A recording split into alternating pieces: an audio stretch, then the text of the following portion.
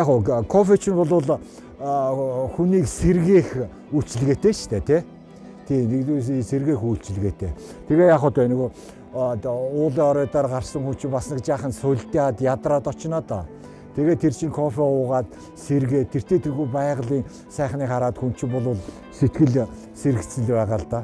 Би 2002 онд Германаас буцаж ирээд тэгээд би нэг нохойтой тэгээд ингээд хамт богдуулаар би ингээд хагас үтэн сай дээр явдаг байсан.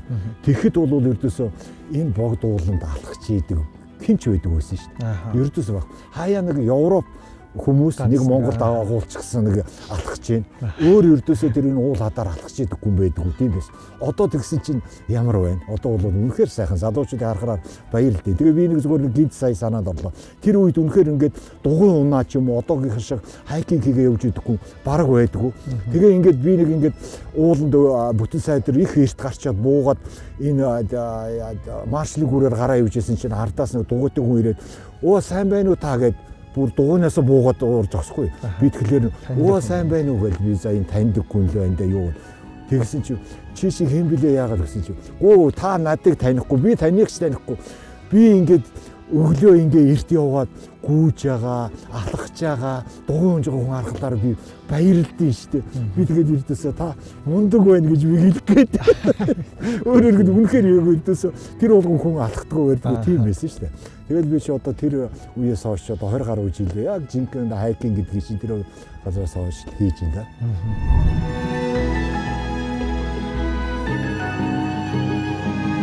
Одоогийн баяр сайхан гэдэг хүн магадгүй таны өсвөр насны ч гэдэг юм уу, бага насны ч гэдэг юм уу яг тэр нэг өсөл мөрөөдөл мөн болов.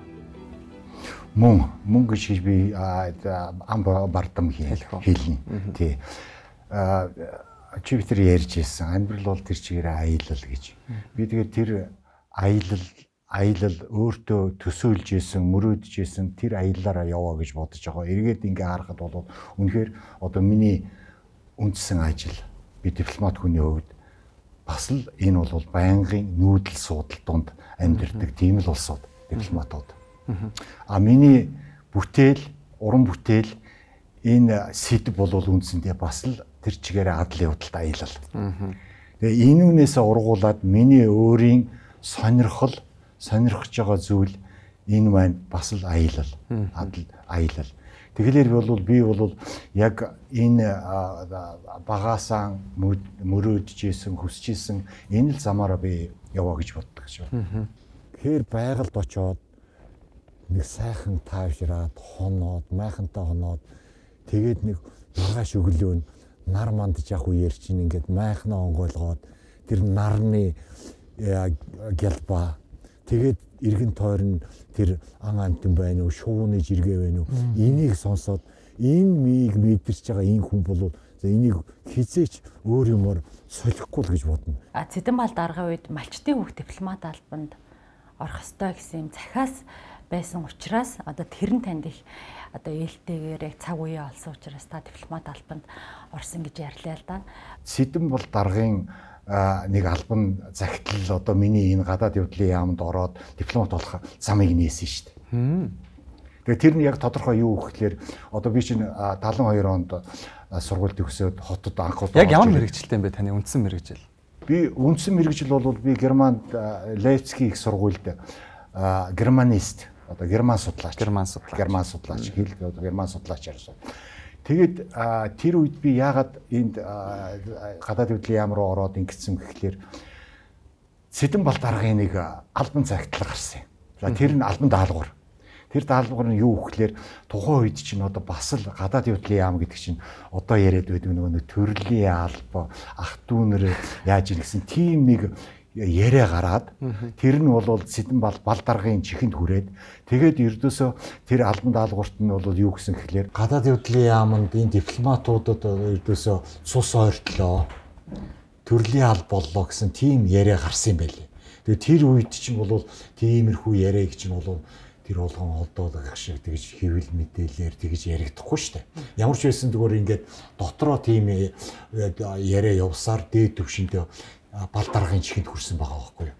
Тэгэл ердөөсөө тэр нь албан даалгавар гэдэг юм гараад Тэгэл ердөөсөө зөвхөн одоо энэ сурч байгаа улсуудыг гадаад хөдлийн яам авч байгаа хүн өөрсдийнхөө хүүхдүүдийг биш. Гадаад хөдлийн яам ажилчин малчтын хүүхдүүдийг авч сургаж ажилуулна. Ажилуулна гэсэн тийм даалгавар. Тэгээд би энэ их сургуулийн герман хэлний бэлтгэл bijсэн чинь нэг өдөр манай декан дуудаж байна. Манай өрөөнд ороод ир. Декан дуудахлаар чинь бол оюутан бочин дотор барсгал явж байна ямар юу болохоо үлдсэн бол та гэд. Тэгээ орсон чинь гадаад хөдлийн яамнаас нэг боловсон хүчин гээд нэг авгаа ирээ сууж ийсэн. Тэгээд тэр ингээд одоо ийм учиртай бид ингээд гадаад хөдлийн яамд ажиллах хүн одоо хэл сонирхох гадаадд явах ийм болцоо хүн. Тэгээд надыг одоо яг уу юунаас энэ бэлтгэл ангийн хамгийн сурлах сайтай нэг 2 3 хүнийг нэрлж өгөөч гэсэн юм байл л. Тэгээ миний нэрийг декан өгөөд Тэгээд би ердөөсөө ийм юугаар гадаад хөдлийн явсан. Энэ бол бас их сонин хувь тавил юм. Тэгээд тэр үед чинь бол одоо за хуучин социализмын үед чинь гадагшаа тэр тусмаа барууны капиталист орнууд руу явдаг хэн байсан юм? Ердөөсөө дипломатууд гадаад худалдааныханд тийшээ явдаг энгийн иргэд бол явна жуулчаар явах тийм ямар ч нөхцөл юу байхгүй шүү дээ. Тэгэл миний ердөөсөө гадаад явдлын яамтай холбогдсон маань ийм тохиолдлын тэгсэн мөртлөө цаг хугацааны үед маш их сон ингэж таарад тэгээд ингээд цааш үргэлжилсэн дээ. Сургуулаа төгсч ирээд яг Монгол улстай ирээд гадаад явдлын яамд анх ажилд орж байхад тухайн үеийн сэтгэл дурсамж танд юу үлдээсэн байдаг вэ? Ер нь гадаад явдлын яамд ороод тэгэл хэсэг ажиллаад за энэ чи ястай нэг хатуу самар байна даа л гэсэн ямар хэцүү газар уу гэсэн тийм сэтгэл төрсэн шүү. Тэр нь ямар утгаараа гэхэлэр тэр үед чинь бол ердөөсөө одоо бид нар бол бичиг боловсруулалтын дээр их ажиллана. Орос хэл Орос хэл бол Орос хэл дээр баримт бичиг боловсруулах юм их бий. Герман судлаач гэдэг яг мэрэгчлээ ер нь хэр олон хүн байдаг вэ? Оо оо бас л одоо ч гэсэн сурчил байдаг. Ер нь нэлийн биш үү. Тэр үед чи бол одоо надыг герман руу явуулах чинь бол тэр үед чи нэг тухайн үед бүх социалист орнууд руу нэг юм уу хоёр хүн явуулж исэн юм. Ердөөсөө герман хөлтэй хүн бэлдээ, пош хөл хэлтэй хүн бэлдээ, унгар хэлтэй хүн бэлдээ гэд бүр зориудаар гадаад хөдлийн яамнаас бид нар явуулж исэн баггүй юу. Тэгээд ингээд германд сураад тэгээд ирээд гадаад хөдлийн яамд орол. Таныг бид нэвтрүүлэгтээ онцлох болсон нэг шалтгаан бол мэдээж 1800-аад оны үеэс Монгол улсыг зорин ирсэн жуулчдын тэмдэглэлийг монгол хэлний орчуулад одоо тэр нь 13 бот болоод а гэхдээ цөөхөн уншигчдад хүрсэн гэдэг ойлголттой байгаа би. За энэ нөгөө алдарт явнаа маань уу? Тий. Энэ алдарт явнаа маань энэ дээ. Вангийн хүрээнд худалдаа харилж байгаа нааш. Энэ хаана вэ? Энэ Вангийн хүрээ гэдэг чинь одоогийн Булган аймаг. А Булган аймаг. Булган аймгийн төв байхгүй юу? Нэгэнтээ герман судлаач гэдэг мэрэгжлийг эзэмшээд тэндээ бас тодорхой хэмжээнд сурсан цаг хугацаа. За тэгээд Аташаагаас ахуулаад элчин сайд хүртлээр томилогдоод тэнд байсан цаг хугацаа гэдэг бол мэдээж таны амьдралд бас нэг томоохон одоо тод дурсамжийг үлдээсэн цаг хугацаа байж таарах гэдэг тийм үү. Тэгэнгүүт мэдээж хүн одоо нөгөө хаана байгаа газраасаа суралцж явдаг нь хүний одоо байгалийн инстинкт гэдэг утгаараа герман улс танд ямар соёлыг, ямар хүмүүжлийг, ямар зан характерыг өгсөн бол Ердөөсөө тэр чинь германчуудаас авах юм. Ердөөсөө дөрөв чи ярьдаг нөгөө цаг барих. Аа. Юмд нямбай юмыг төлөвлөгөөтэй хийх урьдчилж харж хийдэг. Энэ чанарыг хүссэн хүсээгүй эний чинь авч байгаа юм. Аа. Одоо шилбэл би цаг барихын тухайд гэхэд л одоо манай найзууд энэ тэр надтай харьцдаг хүрээнийхэн мэдэндээ хандахгүй. Одоо шилбэл ингээд за нэг хөдөө гадаа явъя гэд ингээд явхад Хэдэн цагаас тийм шиг манай найз аваа хэлж ирсэн. Юу найз хэлж ирсэн байхгүй юу? Өглөө хүй урд урд урд энэ 9 цаг болчихлоо. Цаад баяраа чи одоо гарцсан хүндээж байгаа гэдэг. Надыг сандраад гэж би ирж идэг байхгүй юу? Тэгэлэг бол энэ цаг барих бол ердөөсөө герман сурсан хүн бол зүгээр ердөөсөө энийг ингээл өвлөөл аваалгүй. Ердөөсөө энэ сайхан чанарыг бол би германаас авсан. Зөндөө олон юм хэлж болно. Би жишээлбэл би унд хугацаа өдрийн хоол, орон хоол яг л цагтаа. Тэгвэл өглөө болгоно 8-аас 10 км алхаж байгаа юм. Тэгээ орж. Гэх мэтлэн энэ чанар энэ төр бол би яг л нөө германчуудаас германд байх оюутан байх үеэс бараа нь ажиллаж ирсэн эндээс авсан чанарууд л яваад байгаа юм л да. Эндээс энэ бол зүгээр ингээд хөвшил болцсон.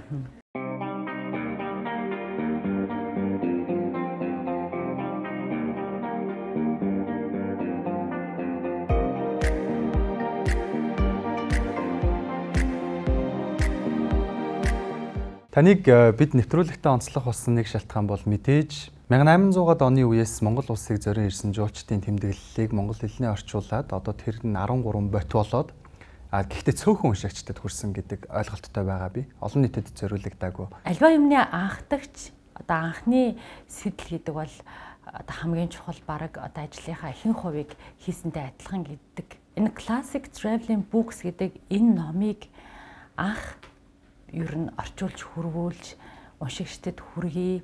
За үүнийг ном болгож гаргая гэдэг анхны тэр санаа сэтэл яагаад төрсөн? Хаанаас төрсөн? анхны санаа сэтэл бол Германд оюутан байх үеэс л эхэлсэн түүхтэй. Ердөөсөө оюутан байсан үе одоо тэр чинь 79 он сүмжээ Венийг бол 77 онд уншсан баха. 77 он одоо нэг ахлах курстэй ороод явна гэд миний анхны ном тэрийг олж уншаад тэгээд би бүр ердөөсөө бүр өөрөө бүр ердөөсөө би тэр чинь богино хугацаанд хоёр ч уншаад тэгээд ердөөсөө ямар гайхалтай ийм үйл явдал манай миний их оронд болж исэн тий ямар сони юм гээд энэ дэр тэгээд тэрийг уншаад энэ одоо номыг нэг хизээ нэгэн цагт би одоо уншаад яг хөө ингээд өөрөө баясаад ийм сэтгэлийн таашаал аваад өнгөрлөө. Ерөнхийдөө монголчуудаа нэг уншуулах юмсан. Энийг нэг орчуулах юмсан гэдэг. Түүнээс миний сэтгэлд бол ингээд байнга нөгөөт чи бодогдоод тэгээд би нэг тийм сэжүүрлөө орсон учраас түүнээс хойш бол ердөөсөө ингээд Европын аялагчдын тэмдэглэлийг л хөөгөл олоод ингээл уншаад эхэлсэн л дээ. Тэгэл ингээл уншаад эхлээд чинь аа энэ энийг орчуулж болох юм байна, энэ сони юм байна гэдэг ингээл энэ маань сэтгэл дотор ингээд суурал маань ингэж бүрдсээр байгаа л тэгэл 13 оноос хойш ингээл итгэвтэй энэ лүг орж байгаа юм байна 1800-аад оны үед Монголд ирж байсан. Тэдгээр жуулчид ямар сэтгэлдэлтэй ер нь яг одоо зоригтой гэх юм уу те. Яагаад бас Монгол улсыг зорьсон бол гэдгээс яриагаа эхлүүл бас илүү сонирхолтой байх болов уу гэж бодож байна. Одоо миний энэ 13 бот дотор цаг хугацааны хувьд хамгийн эртний аялагчийн ном нь бол 1841 42 онд Монгол төвдөр аялаад Лас хүртэл төвд хүртэл аялсан хоёр Францын санваартан хүний бичсэн ном байгаа. Эднэр яагаад тэр үед одоо гэдэг чи одоо 1841 гэдэг чи одоогоос бараг 200 жилийн өмнө байхгүй 200 жилийн өмнөх явдал. Тэгээд эднэр бол ердөөсөө тухайн үед бол нөгөө христийн шашныхан тий шашны хүмүүс байхгүй юу. Эднэр бол нөгөө дэлгэрүүлэх шашны юугаа түгээн дэлгэрүүлэх ердөөсөө энэ зорилгын үүднээс тэгээ ердөөсөө тэр төвд одоо энэ бурхны шашны төвд тэнд очиж үзье гэсэн ийм юутай л нэг Монгол хөтөж аваад тэгээд ингэж явж исэн аялж исэн. Тийм болсод байгаа. Тэгээ яг энэ ном дотор хамгийн сонирхолтой бидэнд одоо ч гэсэн их сонирхолтой юм нь энэ хүмүүс Монгол хүн гэж хийм. Төвд юм уу одоо тангад хүн гэж хийм, хятад хүн гэж энэ гурвыг маш хоорондоо нэг сонио харьцуулах зан чанараа өгд. Тэгээ энэ хоёр бол ердөөсөө болж игэл Монгол айл олж хончих гээд яваад байдаг байхгүй юу. Бид нар ч ердөөсөө тэмээ луус тэмээн дотор юугаа ачгаа ачсан нэг нь тэмээ унцсан нөгөөх нь нөгөө луус унчихсан ингээл явж яасан. Тэгээд ингээд 1800 онд луус тим түгээмэл байсан юм уу? Энэ төвд чинь луус их түгээмэл штэ. Луус одоо хятад тэнд эдгээр чинь бол ингээд одоогийн бол өвөр Монголоор яваад тэгээд төвд рүү орсон юм осод байхгүй. Тэгээд эдгээр бол нөгөө өөрсдөө Христийн шашны хүмүүс учраас Бурхны шашныг хөндлөгөөс хараад ааха энэ шашин чи ингэд юм байна. Лам нар нь ийм харьцаатай бай. Ингээд хоёр шашныг харьцуулсан маш сонирхолтой юм юунууд байдаг. Ихэвчлэн бол тэр үед бол ямар хүмүүс аялж ирж исэн гэхлээр нэгдүгürt нь судлаачид ихэвчлэн бол одоо байгаль орчин тэр юуны ба судлаачд эсвэл амьтын судлаач, ургамал судлаач гэдэг юм уу, тэгээ геолог энэ чиглэлийн хүмүүс нэг явж исэн. За хоёрдугаарт нь арилжаа 8 эрхэлдэг хүмүүс тий? Арилжаа 8 эрхэлдэг хүмүүс нэг явж исэн. Тэгээд ихэвчлэн иймэрхүү адлын явдал хөөж аялдаг хүмүүс. Эсвэл анчин одоо энэ одоо 20-д оны үед хүртэл одоо манайд бүр Европоос аргал агнах гад Монголд одоо ан агнах гэдэг ийм зориуд тэр үед ирж исэн. Тийм анчид хүртэл байгаа шүү дээ. Миний одоо жишээлбэл хамгийн сүүлд гарсан тэр 13 дугаар номдор бол яг бүр тентхийн нэг том бас сурвалжт язгууртай хүн бүр ан хийх гэж ирээд энэ ан хийсэн тухай өгүүлж байгаа байхгүй юу? Тэгэлэр бол иймэрхүү чиглэлийн юунууд. Ер нь тэгээд яг Монгол улсыг 1800 оноос одоо юу гэдэг 1900 он хүртэл ч тийм үү те. За 2000 он 30-аад он хүртэл байгаа миний ном. Аа 30-аад он хүртэл. За тэгэхээр 130 жилийн бас нэг одоо түүхийг агуулах гэдэг шүү дээ тий. Тэгээ энэ хугацаанд яг аялаад ирж исэн хүмүүсийн сэтгэл нэг зүйл дээр огтлцож байгаа юм уу эсвэл бүгд өөр өөр байд юм? Гэхдээ ер нь огтлцох зүйлүүд биш үү. За жишээлбэл Монгол хүний зан чанарын хувьд бол бүгд ерөнхийдөө адилхан монголчууд маш их хийлгэнсүү Тэгээд бас их гайхсан гайхаж бичсэн юмнууд нэг юмнууд байдаг. Энэ монголчууд хичнээн ингээ харахад мэдээж Европ хүний нүдээр харахад бол ядуу тэр орон гэр өмсөн хэцүүхэн юм байгаа шүү дээ. Тийм хэцүү байгаа. Гэхдээ өөрсдөө маш их сэтгэл хангалуун ийм бүр ихэмсэг гэж хэлэх болохоор тиймэрхүү өөрөөсөө энэ хорвоо дээр хамгийн аз жаргалтай улсууд гэсэн тийм мэдрэмжтэй байна гэж хардаг байна. Яагаад гэхлээр одоо жишээлбэл энэ номонд нэг ном доторч байж байгаа. Европоос ирсэн хөрх ингээд морь унчихсан ингээд нэг ганц хоёр хүн дагуулчихсан хүн ингээд хаа хүртэл явж ийн гэсэн. Оо ингээд Төв Азар ингээд Монголоор аялаа явж ийн гэдэг хөөх энэ одоо юугаа хийж явд юм ба гэж дотроо их өрөвцөн сэтгэлтэй чи тэгээд гэртээ адуу мал хэрэгтэй вэ гэдгсэн чинь өө нэг унлагын морьтой гэд Европт нэг л байгаа шүү дээ. Өө хөөх юм энэ ядуу одоо тийм байдлаар хүлээж авч байгаа байхгүй.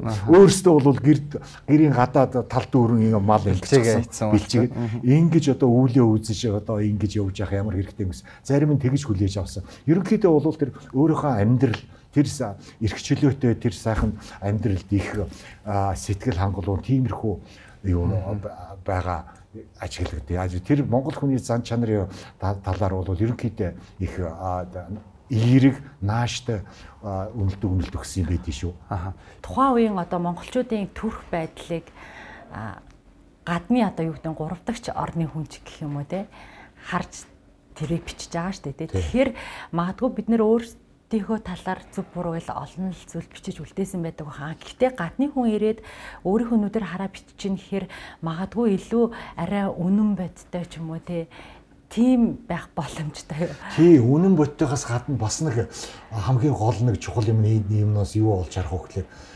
монголчууд бид нар чинь зүгээр өдөр тутмын энгийн зүйлээ өөрсөө нэг анзаардаг. Биднэрт бол тэр чинь сонирн биш шүү дээ анзаарахгүй. Жишээлбэл би зүгээр яг мэдчилгээ монголчууд нь одоо за таргун та зусж гин үү онд минд орсон уу гэж ингэдэг штэ тий ингээл мэдчилгээ ердөөсөө эхлээл мал хуугийг асуугаад эхэлдэг тий Тэгээ энэ бол бидний хувьд бол энэ чинь их анзаарагдахгүй ингэж л яадаг мэдлдэг ингээл.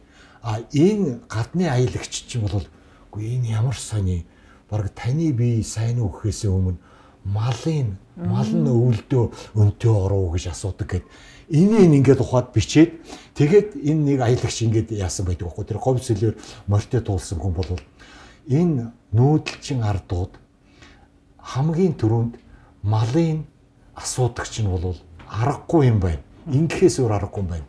Хэрвээ би энэ говьд энэ энэ энгүү зах хязгааргүй энэ цөлд би унаагүй болох юм бол би тэгэл дуусаа Тэгвэл би тэгэл ердөөсөө хаашаач би яаж чадахгүй. Тэгэхээр надад бол нэгдүгürt миний энэ морь болвол унжива морь болвол нэгдүгürt миний зөвхөн зүгээр нэг урагшаа хөдлөх гэж тэр бэцэгт очих гэж байгаа төдий биш. Энэ бол миний хайны юм байна. Би инүүнтэй учраас би энэ зорилгодоо хүрэх юм байна.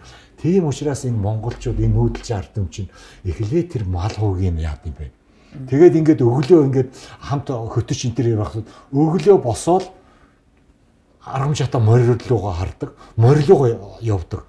Юу тэр ор дэвсгэр янзлах ингээд Тэгэл эрдөөсөө өө энд чи эрдөөсөө энэ холод явж байгаа хүн чи эрдөөсөө энэ мал нь унж ява морь тэмээн энэ нь тийм учраас энэ монголчуудын мэндчилгээнд нь хүртэл төрөөлөө эхлээд мал хувь нь ямар байна гэж асуудаг чинь ийм учиртай байна гэд шилэг. Бид нэр анзаараагүй юмнууд ийм. 1800-ад оны үед за ингээд э, Монгол орныг зориод ирсэн тэр жуулчдтай яаж ойлголцдог байсан бол монголчууд? а нэгэн аялагчид бол өөрсдөө ингээд Монгол Монгол хэл одоо Монголд нэг амьдарч байж байсан бол Монгол хэл сурцсан. Одоо жишээлбэл миний эхний ном чинь Явна гэдэг ном байгаа шүү дээ. Тэр бол 20-од онд хөвсгөлийн Эрдэнэ булганд амьдарч исэн даан залуучууд. Энд чи бүр суурших гэж сууршаад бүр дааны колон байгуулах гэж орж ирж исэн юу залуучууд шүү дээ. Тэгээ тэнд бол фермерийн аж ахуй байгуулад тэгээд энд одоо Сибирт бай амьдарч исэн тэнд одоо бяцлаг үйлдвэрлэж исэн Швейцар, Дани фермерүүдийг нааш нь авчираад тэнд том аж ахуй байгуулах гэж тийм зорилготой орж иж исэн. Шил тэд нар бол Монгол хэл сурчиж байгаа. Ирээл тэнд очиод шууд ердөөсөө нэг Монгол хүн дагаал тэгэл Монгол хэл сураад эхэлж байгаа байхгүй юу. Тий. Тэр нь бол монголоор ойлголцсон. Тэгээ ихэвчлэн бус нь бол хөтөч. Одоо шилбэл Оросын аялагчид Пржвалск, Козлов энэ төр ч гэдэг юм уу. Тэр чинь бол хэлмэрч дагуулад явж байгаа юм. Гэх мэтлэн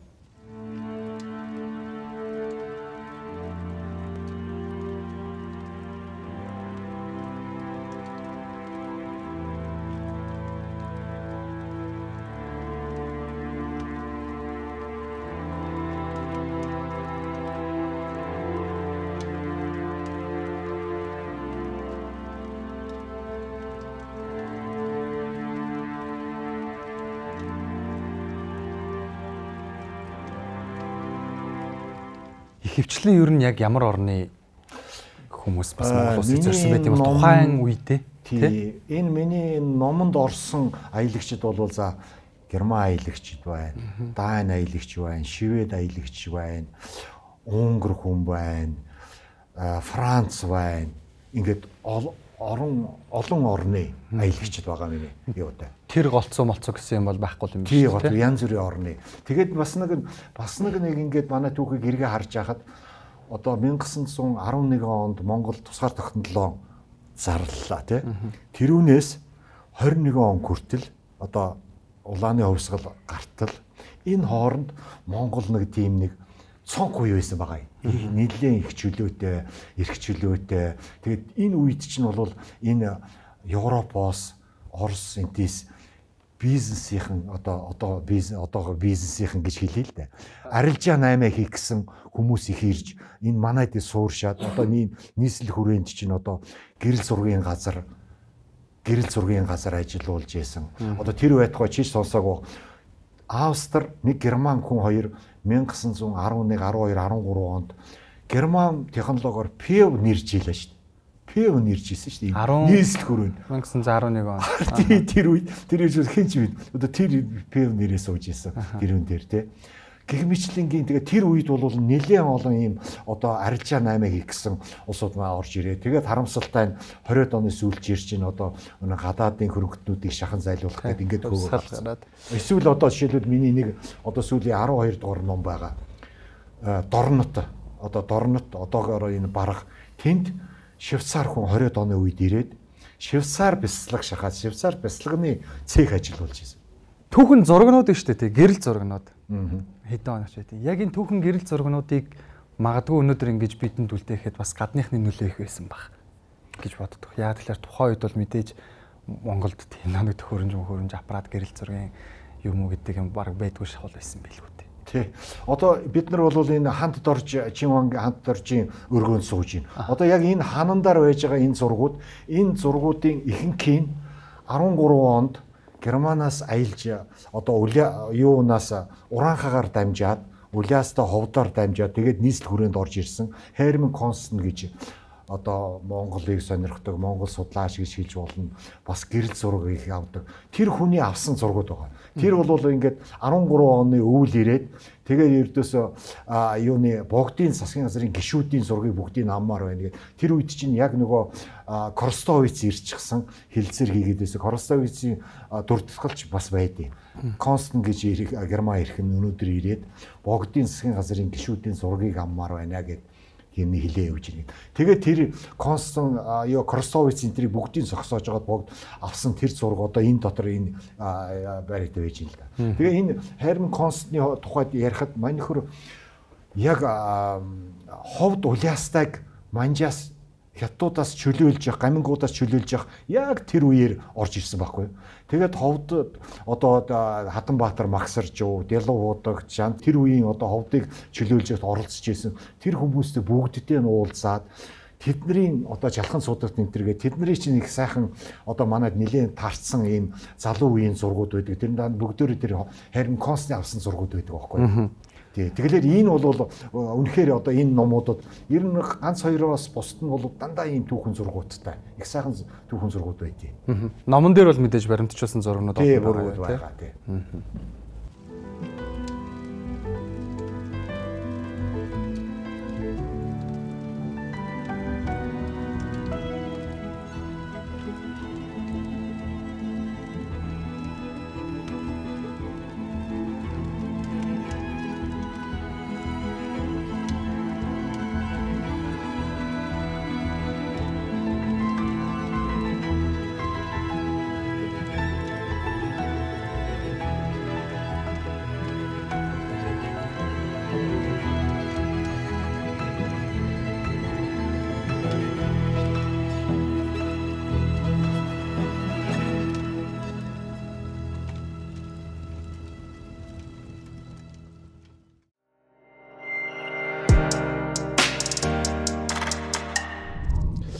Одоо хоёлаа бас нэг тодорхой хэмжээнд байгальд гараад ирсэн байна шүү дээ тий. Тэгмэд яг одоо та бас юу мэдэрч байна? Өнөөдөр бол одоо бол нэг 14 5 гараас л баг шиг байна. Хасаг 14 14 5 гараас. Би бол одоо би зүгээр чамайг танайхан л хөрхи даарч байгаа багтаа л гэж дотроо санаа зовоо зогсож байна. Түүнээс одоо маргаашнаас чи бүр их хүүтрэх юм байлээ шүү дээ. Тэгээд л одоо ингэж нэг алхахтайг аялдаг хүмүүс хувцас чухал гэдэг юм байна шүү дээ тий. Тий, яг үнэ. Хамгийн чухал нь бол зөв хувцаа тохируулж өмсөх Тэгээ яг би энэ далиманд яг бас санаа ав гэд би яг аялж байгаа хүний хувцас ер нь ямар хуу байх хэвээр бидгийг яг товчхон хэлж байгаа. Тэгэхээр германаар бол цивил шал принцип гэж байгаа сонгон хальсалтын зарчим гэж. Сонгон сонгоны чи ингээд нэг хуулахлаар дотроос дахиад нэг хальс дахиад нэг хальсыг гардаг штэ. Ийм олон нэмгэн хальс. Тийм нэмгэн хальс. Тэгэхээр хүн хувцлагта ийм олон давхар хийж өмсөх ёстой. Өөрөөр хэлбэл чи нэг ганц пүүдийсэн зузаа нэхий дээлч юм уу эсвэл зүгээр юу биш. Олон давхар нэгэн. За энэ ерөнхийдөө бол гурван давхар байдгийг хувцас. Нэгдүгээр дотор талынх нь дотор талын одоо мак төрсийг эсвэл урт өмд урт юу штэ. Энэ нь ямар материал байх ёстой хөвөн давуу материал байж болохгүй, давуу материал байж болохгүй, нуусан материал байж болохгүй. Энэ бол хиймэл одоо дидрон, хуучин нилон энтер гэдэг үүдэг ийм материалтай урт өмд одоо юу байхсан. Яагаад гэвэл энэ хиймэл энэ материалууд чинь бол өөрийнхөө жингийн 10-аас 15% нь л ус тогтоодог, чийг тогтоодог. Түүнээс илүү тогтоодгүй. А чи ноосон ноосон материал бол ердөөсөө чи усар дүрээд явхлаар зүгээр ингээл ийм хүнд болчдөг шээ. Тий. Тэгэхээр чи чирчин бол ердөөсөө өөрөөр хэлбэл биенээс ялгарч байгаа хөлсийг чинь тэр гадагшлуулахгүй нөгөө материал чи өөртөө аваад үлдчихэж байгаа байхгүй юу? За хоёр дахь түүний гадуур юу орж ирэх хэвээр гэхэлэр жинхэнэ дулаалга. Жинхэнэ дулаалгын давхарга.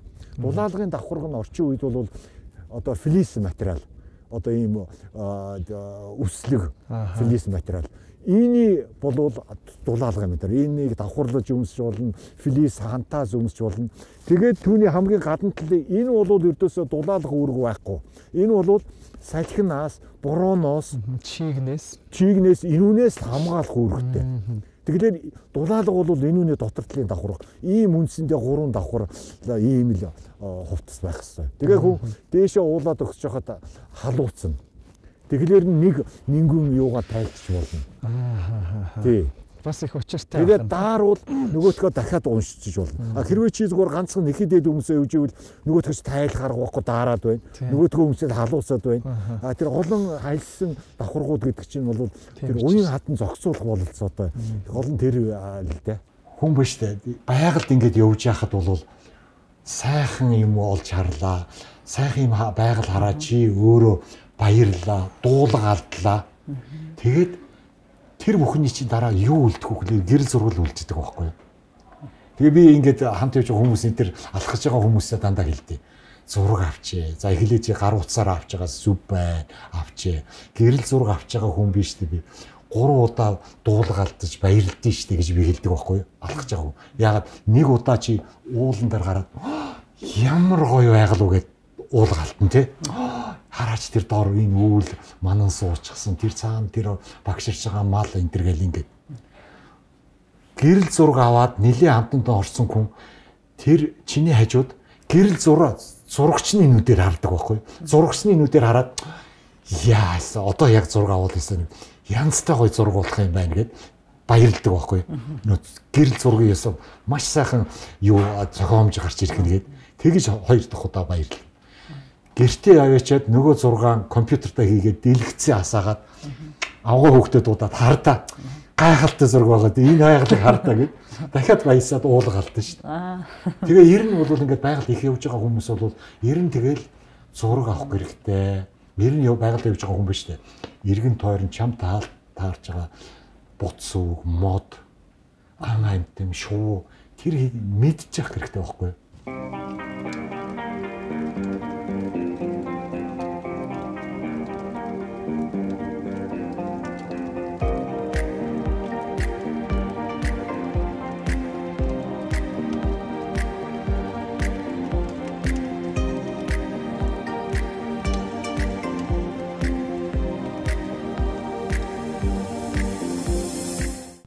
За энэ нөгөө алдарт явна маань уу?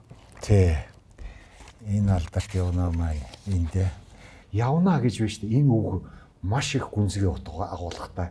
Энэ үг нь юу юм бэ гэхээр энэ даанууд Бээжингээс наашаа нийслэл хүрээ хүртэл үхэр тэргээр ирдэг байхгүй хамаг ачаагаа ачаад үхэр тэргээр. Энэ чи ердөөсөө Бээжингээс энэ хүртэл тэд нар чинь үхэр тэргээр гэдэг чинь ердөөсөө хүн явгаа алхаж байхдаа л адилхан хурдтай явна шүү дээ. Явгаа алхасаар байгаа тэд нар ирдэг байхгүй. Тэгээд хамгийн сонирхолтой нэг 26 билүү юу хөтөч хятад хөтөч авдаг байхгүй тэд нар. Тэгээ ингээд ердөөсөө ингээд эдгээр чинь бараг 50-аад ингээд юу сар юу одоо цуваа ингээд зогсоод Тэгээ ингээ яг хөдлөх болсон чинь нэг хөгшин хятад тэрийг ахалж явж байгаа хөт чинь нэг ийм дов дээр гарч зогсоод явна явна явна гэж гурван удаа хэлдэг байхгүй юу. Тэгэлэр нь тэр энэ энэ ханс Крис энийг бичсэн юу хаслуунд энэ хүн юу гэж хэлж байсаа гэсэн чинь явна гэж хэллээ. Энэ ямар учиртай юу гэсэн. Хөдлий, алсад хөдлий гэсэн үг шүү дээ. Тэр хамаа тэгсэн энэ бол шүү дээ. Энэ Төв Азад Төв Азад одоо торгоны зам дагуу жин тээж байгаа хүмүүс алс холын замд хөдлөхтөө өгдөг дохоо өгн явна. Тэр одоо тангад хүн байна уу? Тэр одоо юу өөр үзбек хүн байна уу? Тэр бүгдөө ийм команд өгдөг байсан байгаа шүү. Тэгээ одоо тэр Германы Хайсик гэдэг эрдэмтэн байгаа. Тэрүүний монголчууд монголоо ирж гин гэсэн тийм тэрүүн дээр бичсэн байгаа. Тэр үед бол торгоны замын үед бол монгол бол энэ юуны нэг төв байсан. Тэгээд монгол хэл бол өнөөгийн англи хэл одоо бүх нийтийн мэддэг хэл шиг монгол хэл бол тэр үед бол гол одоо тэр энэ аян замын нүүдлийн гол хэл байсан гэж байна. Тэгээ энэ энэ эрдөөсөө энэ тэр аялагч хэлдэг байхгүй юу. Явна гэдэг бол энэ сонсголтой үг бол Төв Азар аялж хахад газар сайгүй сонсогддог тийм уянгалаг алс холын учир битүүлэг таагдшгүй ертөнц рүү орох дохоо гэж бичдэг байхгүй. Ямар ямар улсын хүмүүс ингэж битсэн байдیں۔ те Монголын талаар. Тэнгүү та тэр номнуудыг яаж олж мэдтээ? Тэгээ яг үнэ тэр тэр хүн бүхэн сонирхдаг. Үнэхээр ч энийг олж авна гэдэг чинь бол тун амаргүй мэдээж чинь одоо 200 га жилийн өмнө гарсан ном анхныхын би хэллээ шүү дээ 1841 42 онд гарсан. За нэгдүгüүрт нь би ингээд ердөөсөө за энэ Монгол төвдөр чинь монголоор ямар аль хэн хизээ аялж ийсв гэдгийг тодруулж байгаа болох гэдэг шүү дээ. Тэрийг тодруулж байгаа. За тэгээд тийм хүн аа 1800 тэдэн онд аялж ийсэн байх гээ. За энэ хүн ном биччихүү гэдгийг. За ном бичсэн бол тэрийг интернетээр хуучин номын дэлгүүрт тэгж хайжээж олж авч байгаа юм. Та одоо яг 13 цуврал энэ номоо ингээд орчуулад байж байхдаа гүнээрээ бид нар ч одоо ямар бахархам хүмүүс вэ гэл ингээд Монгол гэдэг одоо тэр бахархал төржсэн тийм жишээ. Гүр байлгүй яг үнэхээр гү ич эрдөөсөө үнэхээр бахархмаар. Би зүгээр ерөнхийд нэг ингээд хэлэхэд энэ Монгол гэдэг үндэстэн бид нөгөө агуу түүхийг бүтээж исэн их Монгол гэж импери одоо дэлхий дээр чинь одоо энэ эзэнт гүрнийг эзэнт гүрнийг одоо бий болгож исэн бүтээж исэн хэдхэн ард түмэл байдэн шүү дээ. Тэрүүний нэг нь Монгол. Тэгээд энэ Монголын тэр газар нутаг ямар том тэр монголчууд энэ өргөн уудам нутагта дархан оршиж исэн гэдг нь хөрвөлдөөсөө энэ тэр бүгд одоо миний номнуудаар зарим хүмүүс ингэдэг өө эн чинь өвөр Монгол өө эн чинь Шинжаан тийм үү эсвэл эн чинь баргад болж байгаа үйл явдал гэдэг үгүй эн чинь одоо хуучин ойлголтоор их Монголын нутагт дэвсгэртэй. Тэгээ би ингээд зарим тооцоо тэр үеийн хүмүүсийн цаг хугацаа орон зайн мэдрэмж өнөөгийн биднэрийнхээс шал өөр байжтэй гэж. Эрдөөсөө эдгээр чинь заа төвдөд Далай ламдаа нэг очиж нэг мөрөгчөөд ирийгээл морио унаал тийшээ яваад 2 3 жил болчоод ороод ирдэг. Эсвэл одоо байдаг л үзэгдэл тий. Эсвэл одоо за энэ Европ руу нэг дайлаар мордчоод ирийгээд морио унаад яваад 7 жилийн дараа ороод ирдэг. Эсвэл энэ дээр яг нэг тов тодорхой нэг жишээ байгаа. Одоо Кашкар гэдэг Кашкар гэдэг хот энэ бол одоо юуны Шинжааны одоо бүр цаад үзүүрт одоо чи бараг Киргиз мэрэгстэй хил залгаж байгаа бүр энтхэр бүр тэр хамгийн цаа захын хот шүү дээ Кашгар. Тэн дээр Шведийн алдарт аялагч Свен Хэдин гэдэг тэр э, төвд рүү орох гээд төвд рүү орохдоо нөгөө Европынхны хориотой байсан учраас Монгол мөргөлчдийг дагаад Монгол нөө зүсөвөө хувиргаад явчих гэж бодоод. Тэгээд за чи эндээс нэг Монгол хөтөч нэг хүн олоод иргэн. Тэгээд тэр Хашкараас лодон лодо гээд нэг лам аваад ирж байгаа байхгүй Монгол лам. Тэгсэн тэр нь энэ өргөөд ганданд шавилж суугаад энд шашны болсууд эзэмшээд тэгээд тэр тэр ертөнцийн мухар тэр кашкарт тэнд нэг хийдэж шавилж сууж байгаа хүн байж байгаа байхгүй. Тэгээд тэрийг дагуулаад тэгээд тэр төвд рүү яваад тэгээд төвдөр төвдийн тэр хойд уулсаар чинь хэдэн сар одоо бүрээс ямар ч хүн амьдрдаггүй тэр хүйтэн тийм газараар аялж явж хагаад төвдийн уулсаас буугаад ирсэн анхны айл Монгол айл байгаа. Тэгээ ингээд одоо бас нэг юм гайхалтай юм ингээд одоо шилбэл ингээд одоо Шинжаан юм уу Уранхай одоогийн туваа штэ. Тэргээр ингээд Европ аялагчид орж ирлээ штэ. Одоо тэр тэгэхэд тэд нар бол одоо чин улсын, манж чин улсын хэлээр орж ирлээ гэж бичихгүй. Монголын хэлээр, агуу Монголын хэл рүү, Монголын нутг руу орж ирлээ гэж бичдэг байхгүй юу? Эсвэл одоо Бээжингээс наашаа яваад Жанчхуугийн даваад аваад тэгэл Монголын өндөрлөг нутг руу орж ирлээ л гэж бичнэ. А энэ тухайн үед чинь бол тэр чинь одоо миний яг ном үйл явдал болж байгаа энэ чинь бол манжчин улсын үе шүү дээ. Монгол бол нэг хэсэг нь байсан. Гэтэ энд бол тэр манжчин улсын ердөөсөө их Монголны нутгаар явж ийн. Их Монгол ийм л. Тэгэхээр Монгол гэдэг тэр агуу одоо тэр уудам нутагт энд тархан сууж исэн тэр үеийн тэр монголчуудыг үнэхээр би бол үнэхээр одоо бахархан зармын нь бол одоо ойлгоход хэцүү. Одоо тэр хүнд нөхцөлд яаж одоо энэ хатуу ширүүн байгаль цаг нөхцөл ингэж амьдарч яаж гэдэг нь. Таны одоо номыг уншсан гэх юм уу таны бүтээлүүдэд танилцсан хэд хэдэн судлаачтай би уулзахад а ерөнхийдөө юу хэлжсэн бэ? гэхээр судалгаа сайтай бүтээлээдэг. Ялангуяа газар усны нэр одоо тухайн авг аймгийн нэрийг яг одоо байгаад энэ алталгүй ингэж их зүв сайхан сонгож оновчтой бичсэн байдаг гэсэн юм үнэлгээг өгч исэн.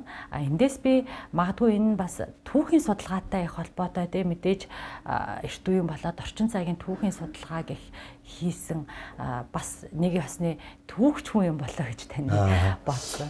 Тий яг хөө зүгээр яг хөө ингээд би энэ сэдв рүү ороод ингээд энийг орчуулаа явуулна гэдэг чинь би яг энэ цаг үеийн түүхийг би мэдэх ёстой. Ягаад гэвэл тэр 18 дугаар 10 одоо 1841 42 онд болж байгаа үйл явдал гэдэг чинь тэр үеийнхаа юмыг бичсэн байгаа шүү дээ. Тэгэхээр тэрүүнтэй холбоотой би тодруулах юм гарч ирнэ. Би зүгээр тэрүүнтэй ганцхан жишээ хэлэхэд тэр хоёр Франц явж хагаад Ар Монголоос Далай ламд мөрөх гээд явж байгаа хэсэг мөргөлчтэй таардаг байхгүй юу? Тэгээ ингээд яриад ингэсэн чинь одоо мэрэгэн гүний хөшөөний хөшөөний засаг ноёны ихнэр явж байгаа гэж хэлдэг байхгүй юу? Тэгэхээр би тэр одоо 1841 42 онд мэрэгэн гүний говь мэрэгэн гүний өшөө гэдэг чинь хэн хаана байд юм байна. Тэр үед засаг ноён хэн байсан гэд тэрийг би түүхтэр ингэж үзээд тэгээд ингээд нэр нь гараад ирж байгаа юм. Аа тэгээд би тэр юуныхаа тайлбартаар энэ хүн болвол 1842 онд говь мэрэгэн өшөөний засаг ноён тэрүүний ихнэр тэрүүнтэй уулзсан өндөр магадaltaй байна гэсэн би тайлбар оруулж байгаа байхгүй жишээлбэл. Өөрөөр хэлбэл би тэр уншиж байгаа хүн бас тэрийг тодтоход ойлгоход хэрэг болохоор тийм юмнуудыг би ингээд оруулаад ингээд үнэхээр бас ингээд нэг бас түүхийн талаас нь хандхаас өөр аргагүй тийм юмнууд гарч ирнэ л дээ их гарч ирнэ тий.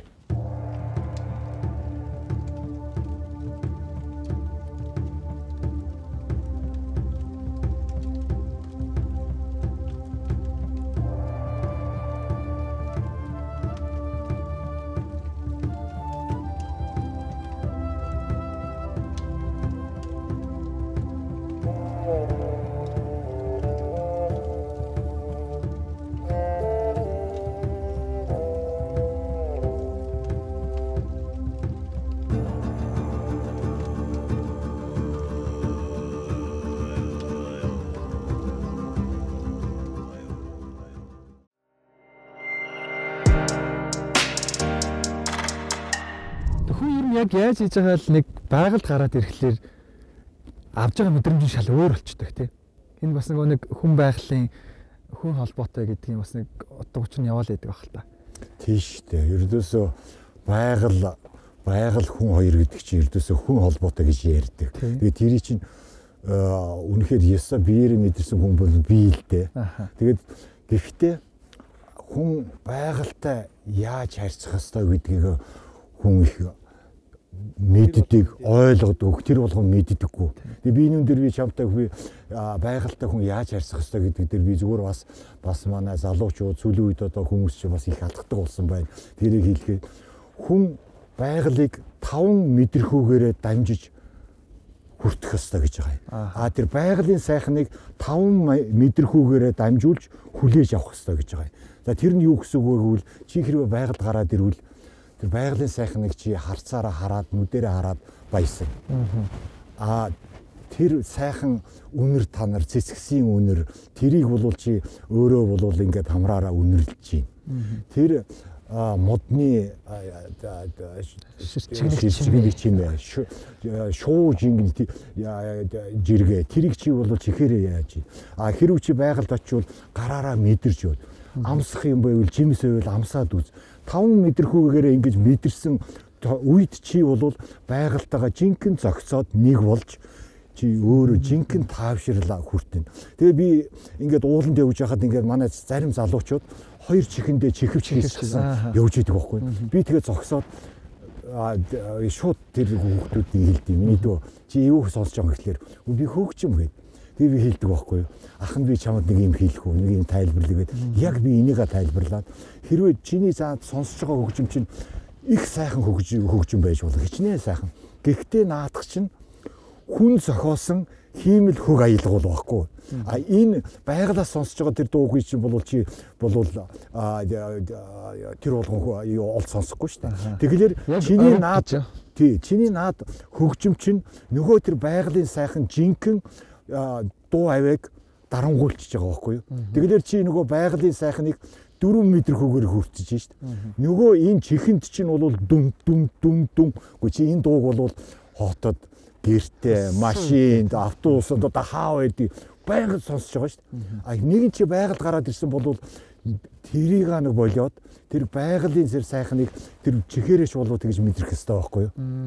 Орчин үеийн залуус дээр үеийн гэх юм уу те өвөг дээдсийнхаа өмнөх үеийнхээ түүхийг мэддэг судалдаг байхын ач холбогдлыг та юу гэж харж байна гоё энгийн үгээр? А чи Европт юм уу? Гадна орн очоод би Монгол хүн гэдгийг тэдэнд өөрийгөө таниулах. Тэгээ эн чинь нэрээ монгол хүн юм байна. Энэ идж ууж байгаа, ярьж байгаа энэ нэрээ биднээс шал өөр ялгарч чинь гэдэг тэр ялгаа.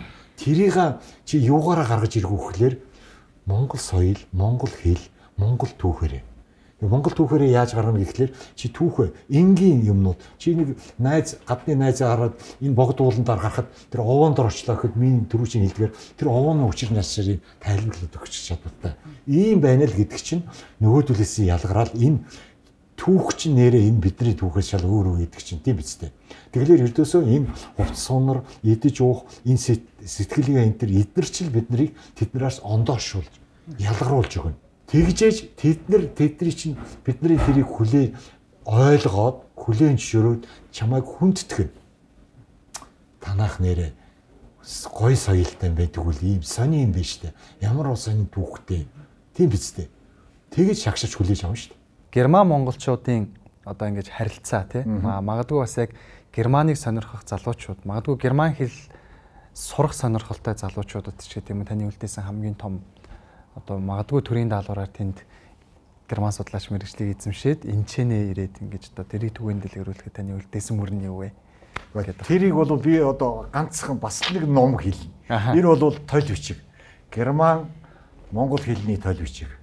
Энэ бол тойл бичиг бол өнөөдөр тэр миний ерөнхий редакторлаад хийсэн тойл бичиг. Өнөөдөр герман хэл сурч байгаа хүн болгон энэ ногоон толийг л ашиглана. Энэ бол герман хэл сурч байгаа хүний стандарт тойл болчихсон. Тэгээ энэ бол би энэгээр би үнэхээр баярлалдаг. Энэ бол ердөөсөө германд ч бай, энд ч бай ердөөсөө энэ хоёр аль альны хэл сурч байгаа хүмүүсийг бол гартаа авч идэг. Тэгээд би зүгээр германы герман хэл сурсан, герман судлаач хүний хувьд герман хэл мэддэг хүний хувьд би бас бусдад үлдээж байгаа миний бас нэг юм хийсэн зүйл маань энэ болов гэж би бодож байна л да. Алтан гэрлийн төлөвчг гээд англи хэл сурч байгаа хүмүүсийн түгээмэл ашигладаг тойл шиг одоо баяр сайхны төлөвчг гэдэг бол герман хэл сурч байгаа хүмүүсийн тогтмол ашигладаг төлөвчг гэсэн үг тийм төлөвчг тийм 1900 тийм шүү. Хичнээн жил яаж л байна. Оо наад чи яг бэлэн юунаас гаргаж байгаа юм чинь бол бэлэн нөгөө их аваад тэрүүнээсээ 5 ботыг л нэг бот болгож байгаа юм чинь тий бас гайхул те. Эний зүгээр сонирхоод одоо та ямар баталтай явд юм бол гэж бодсон үднээс асууя гэж бодсон байгаа. Аялал жуулчлал болон нүүдэлчин сэтгэлгээ хоёр ямар нэгэн байдлаар холбогдох боломжтой гэж та бодож байна уу? Үтэгэлгүй явах. Ёстой буй болвол нь штэ. Тий аялал аялан жуулчлан жуулчлан гэдэг чинь ердөөсөө л бусдын бусдаар төмний соёл ахуйг л үзэхгээ сонирхох гээд явж байгаа ирж байгаа улсууд шүү дээ тий. А тэр дунд манай нүүдэлчдийн соёл гэдэг чинь одоо нүүдэлж яваа энэ одоо суурин биш хүмүүсийн соёл гэдэг чинь энэ Европынхан тэр Америк энэ Япон солонгосынхан чинь бол бүр ердөөсөө зүгээр тэр байгаа тэр чигээрээ үзмэр байхгүй юу? Үзмэр байхгүй юу? Одоо тэр өдөр тутам хийж байгаа тэр цагаан хэдэ яаж байгаа мал хүйдэ хандж байгаа ердөөсөө энийг л харах гэж ирж байгаа байхгүй. Энэ бол би маш сайхан авцалдан би нөгөө тий яана гэж би боддог шүү. Одоо ч гэсэн Монголыг зорж ирж байгаа жуулчид дунд Монгол нэг айлд очиод хоногөлчий. Яагаад гэвэл тэд нар биднийг илгэмсэг хүлээж авдаг гэдэг нэг тийм ойлголттой. Тэрийг нь магадгүй буруугаар муухай хандлагаар ярих юм бол ашиглчий гэдэг нэг тийм хандлагатай жуулчд бас айгүй олон байдаг гэж. Тий одоо үр хүчтэй. Тэр магадгүй тэр нь юу гэдэг одоо жишээ нь таны энэ орчуулсан энэ номнууд нь тухайн хүмүүстэй за монголчууд ийм шүү гэдэг бас нэг захиасыг өгцөн байдаг ч юм уу. Эсвэл яг тийм нөгөө нэг суур Монгол философи, Монгол зан чанар нь байгаад байдаг учраас бид нар бас нэг тийм жоох ашиглуулчих гадж байгаа юм шиг тийж олжчихсан. Тий. Нэг тийм байгаад тэр бол нэг тийм ашиглуулаад ч гэж. Яг зүгээр одоо ингээ хараад үнэхээр яг Монголд бол ингээ хөдөө үр хүчтэй ингээд гарахад бол өрдөөсөө мөнгө төгрөгийн хэрэг байхгүй, хоол унд нь санаа зовх байхгүй гэсэн бүр тийм цаанаасаа тооцоотой орж ирж байгаа хүм залуучууд байхыг үгүйсэхгүй. Тэрийг бол үгүйсэхгүй тий.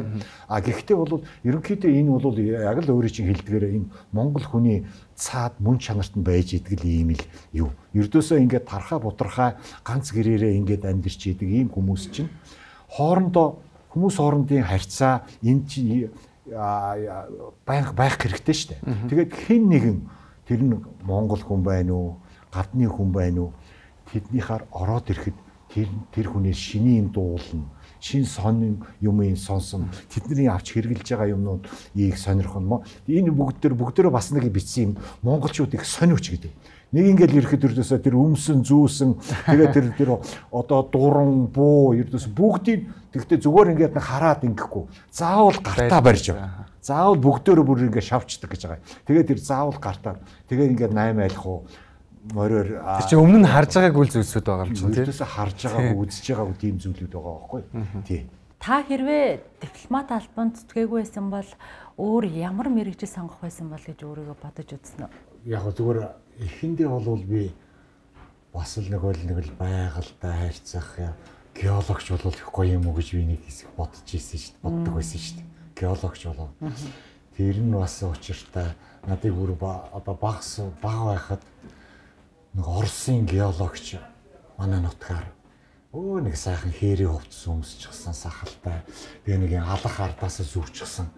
Тэгээл тэр манай дэргээр яваад чулуу очиж чулуу тогшоол хаглаал ингээл хараад.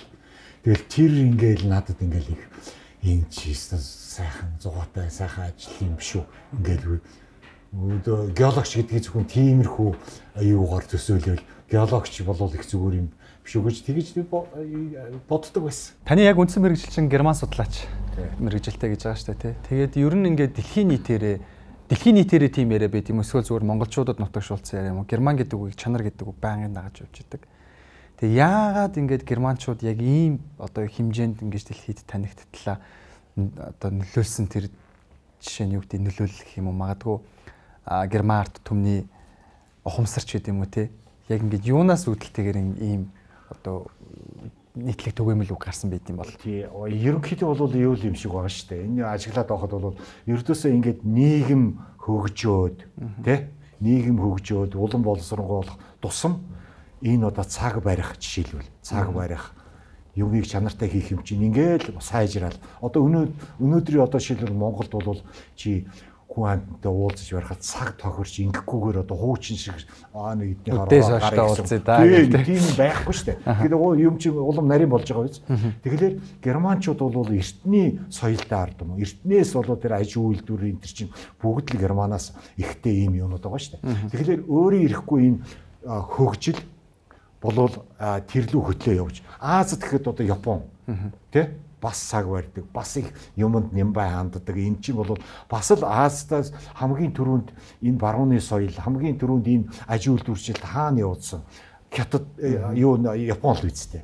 Тэгэлэр чи бол энэ нийгмийн хөгжилтэй холбоотой зайлшгүй одоо гарч ирдэг тийм одоо манайх ч гэсэн явандаа бол ингээл одоо цаг барьдаг энэ хүссэн хүсээгүй энэ өнөөгийн нийгэм чинь энэ хүнийг энэ лүү түлхэх нь аливаа юмыг чанартай хийх энэ төр чи болвол энэ л явна.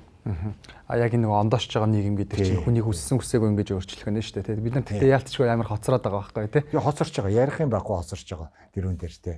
Энгийн үгээр хэлэхэд дипломатч гэж ямар хүн юм бэ? Дипломатч гэхэлэр чи л өртөөсөө Яа нэг л галуу шууны мах идэж, виски татаж тэгэл нэг төв байрын барагтай үг алддаг нэг тийм хүн гэсэн ойлголт их төгөөмөл өгдөн шүү дээ. Тий. Яс чи та ясаа дипломат юм а гэж өөрөөр хэлбэл үг алддаг, буруу үг хэлдэг, ийм гэсэн нэг тийм ойлголт. Ерөнхийдөө бол тэр бол бас дундаж үнэн л дээ. Тиймэрхүү. Одоо үнэхээр ч яг хуучин одоо цагтл гэж ярил л да би социализм үед тэр үед чинь бол үнэхээр гадагшаа төв дэлхийгээр тоорч явдаг хүн дипломат тотал байлаа шүү дээ манай. Гадаад худалдааныхан Тэгээд бид нар бол аа тэгээд одоо тэр үед чинь тэр капиталист орн тэр газар явах чинь бол үнэхээр миний амнаас гарч байгаа үг бүхэн учир начиртай агуул уюутай байх хэвээр. Надыг бол би зүгээр баяр сайхан гэж хүн ингээ яриа явж илээ гэж ярихгүй ш. Монголын дипломат Монголын элчин сайд ингэж хэлсэн шүү. Ийм хэлж. Тийм учраас дипломат гэдэг чинь өөрөө ирэхгүй амаа хангах хэлж байгаа үгөө бодож иж ярих ийм л болж болчдөг байхгүй юу? Тийм болоод ингээд насаараа яг иймэрхүү дигж аягаар ингээд явцсан хүн чинь яг хөө ингийн амьдралдаар бас нэрэл нэрэл нэг л ирдөөсөл нэг тий а хамаагүй илүү дутуу баг л анигоо ярьдаг нэг л тийм таар шиг нэг тийм ойлгох тал би л тий тэр бол яг үнэ тиймэрхүү.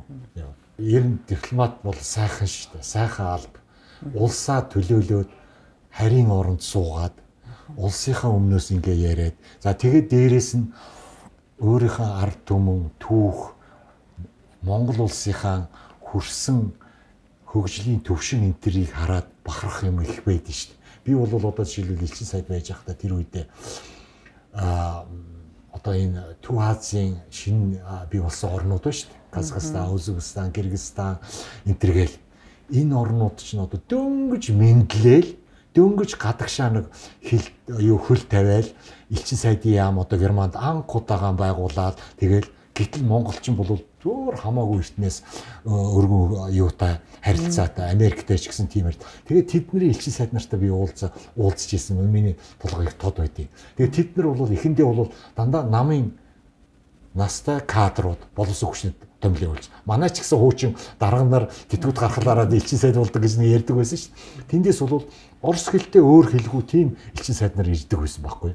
Тэгэл ердөөсөө ингээл элчин сайд нарын уулзалт боллоо гэхэд нөгөө төлөх өөрхий нэг 5 6 тентгийн юунууд чинь өнөө бустай чинь өнөө германаар англиар яриад ингээд харьцаж чадахгүй юм чинь тэр тав тэгэл тэр булан тэр хүнд ингээд зогсож байна. Тэгээд тэд нартай ингээд яриад тэгээд та нар Америктэй яаж танай оюутны энэ их сурдгуу яадгуу виз танахаа их явдгуу барьдгуу энэ төр гэж би тэгээд өө тийм манайх чи их Америк руу чинь их явж байгаа. Тэгээд чи Америкт виз чинь чууд 10 жилээр виз зарж өгд.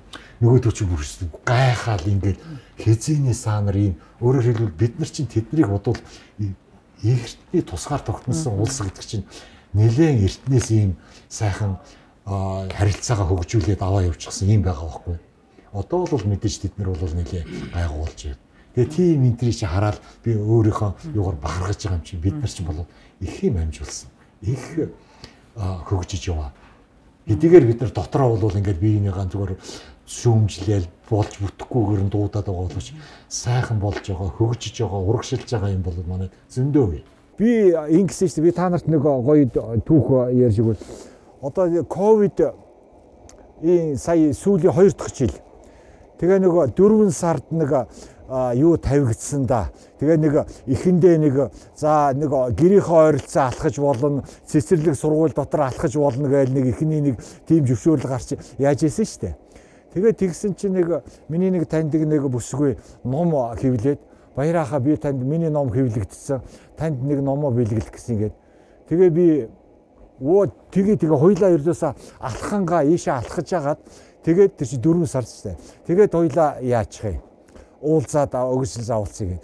Тэгээ би тэр дотор ийшээ юу дугуйн замаар алхаад тэгээд гол руу очоод тэгээ би ийм бүх юмнууд аваад тэгээ нэг ингэ сосисыг өндөгтэй шарах өглөөний uuнд бас уугээд ингээд аваад тэгээд очоод голын ирэг дээр очоод нөгөөтгөө ингээд нөгөө хүч ирсэн бүр бүр бүр нүд нь ороод ир хангахад ямар гоё юм бэ. Ковид гэрээсээ гарч чадахгүй байгаад ингээд тэгээ та ингээд чинь бүр кофе чанж өгөөд өндөг шарж өгөө сосиск шарж өгөөд нөгөөт чинь тэг бүр өрдөөсөө үнэмшихгүй байгаа юм чи. Нөгөөт чи.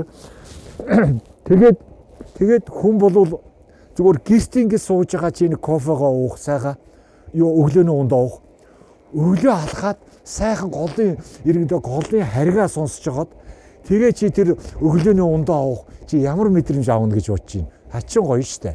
Бидний ярилцах хугацаа өндөрлөж байна. Энэ тэргуунд таныг бас нэвтрүүлгийн урилгыг хүлээж авч цаг заваа зориулсанд баярлалаа. Тэгээд нэвтрүүлгийг ингээд бүтэн үзсэн хүмүүс бол таны яран дээрээс их олон үнцгийн хэдүүлээ бол нэг цөөхөн хэдэн сэдвүүдийн хүрээнд ярилцсан баг. А тэр сэдв болгон дээрээс их олон үнцгийн тодорхой ойлголтуудыг олж авч чадсан байхаа гэж итгэж байна. Нэвтрүүлгийн урилга хүлээж авсан танд баярлалаа. Их сонирхолтой байлаа. Их амттай яриаг өрнүүлж чадсан баха гэж итгэж байна. Тэгээд таны одоо цаашдаа хийхээр зорж байгаа тэр бүх зүйлсүүд нь амжилт хүсье. Таны амьдралд нь бас эрүүл ихийг хүсээд ярилцлага өндөрлөе доо. За та нар ч гэсэн бас баярлалаа. Би та нарын яг урилга ингээд ирэхлээр миний хамгийн түрүүн одоо бодож хүлээж авч байгаа юм бол а энэ баяр сайхан гэдэг хүн чинь бас хүнд нийгэмд бас бусдад хэрэгтэй юм хийж байгаа хүн юм байна. Одоо миний номоор дамжуулаад гэдэг өнцгөөс хараад бас энд бас нэг хүмүүст хүрэхээр бас энийг тойроод ярьчихаар ийм хэрэгтэй сэдв байх шиг байна гэдэг өнцгөөс хараад ингээд яаж байгаа бах гэж бодоод энд баярлж байна. Тийм учраас та бүхний бүгдэд нь бас ажлын амжилт, бүтээл амжилт хүсье. За баярлалаа.